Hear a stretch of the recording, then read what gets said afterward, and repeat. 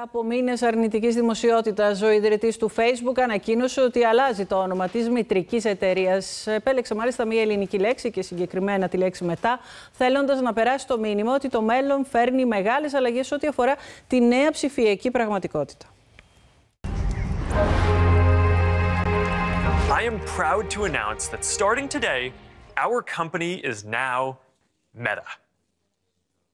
Our mission remains the same It's still about bringing people together.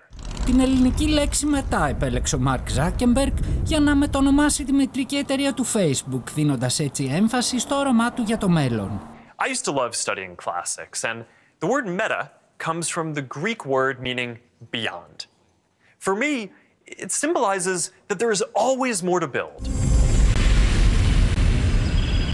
Για το Zuckerberg το μέλλον του διαδικτύου θα είναι το μετασύμπαν, η Metaverse. Ένας παράλληλος κόσμος όπου οι χρήστες θα αλληλοεπιδρούν, θα εργάζονται, θα ψωνίζουν και θα ψυχαγωγούνται με τη βοήθεια της εικονικής και της επαυξημένης πραγματικότητας. Are you coming? Yeah, just gotta find something to wear. Όλα αυτά μπορούν να αφορούν το μετά, Τώρα όμως η εταιρεία του Mark Zuckerberg βρίσκεται στο μάτι του κυκλώνα.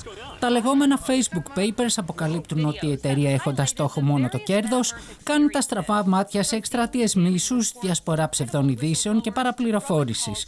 Οι αναλυτές κάνουν λόγο για κίνηση αντιπερισπασμού. They're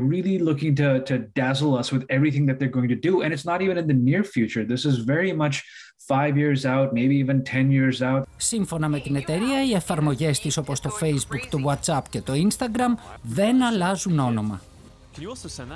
Γιατί τώρα και τι σηματοδοτεί αυτή η μεγάλη αλλαγή, θα συζητήσουμε με τον επικεφαλή της airnews.gr, Τάσο Οικονόμου, να δούμε πώς θα είναι αυτός ο νέος κόσμος, αλλά και πώς θα είμαστε εμείς μέσα σε αυτό το νέο κόσμο. Έτσι ακριβώς, ε, Αντριάννα, ένας κόσμος στον οποίο θα μεταναστεύσουμε. Ε, τι είναι τώρα το Metaverse, θα το Metaverse θα συναποτελείται από τον κανονικό κόσμο, τον κόσμο της εικονικής πραγματικότητας και αυτό της επαυξημένης πραγματικότητας, η οποία προσθέτει πληροφορίες στον ήδη υπάρχον κόσμο στον οποίο ζούμε. Το διαβατήριο για να περάσουμε σε αυτόν ναι. και να μεταναστεύσει κάποιος ε, στο Metaverse θα είναι τα ειδικά γυαλιά ε, εικονικής πραγματικότητας και επαυξημένης πραγματικότητας, δύο τεχνολογίες που πιθανότητα στο μέλλον θα συγκλίνουν και βέβαια πρέπει να μειωθεί το κόστος για να μπορέσει ο κόσμος να, να τα αποκτήσει και να είναι ελκυστικά ως αγορά. Πώς θα λειτουργεί αυτός ο κόσμος, Γιατί θα λειτουργεί πια με πάρα πολλά μέσα και πώς θα λειτουργούμε κι εμείς μέσα σε αυτό; Αυτό είναι το ερώτημα. Αυτό προσπαθούμε όλοι να χαρτογραφήσουμε. Πολύ περισσότερο δε ο Μάρκ Ζόκερμπεργκ. Και οι κρίσιμες τεχνολογίες αυτών θα είναι τα κοινωνικά δίκτυα, θα είναι εφαρμογές ανταλλαγής μηνυμάτων, οι εφαρμογές τηλεδιάσκεψης πολύ οικίες σε εμάς, αλλά θα συνθέσουν ένα τελείως ε, διαφορετικό περιβάλλον και βέβαια οι ψηφιακοί χάρτες η Google Maps, η Google βρίσκεται ήδη εκεί.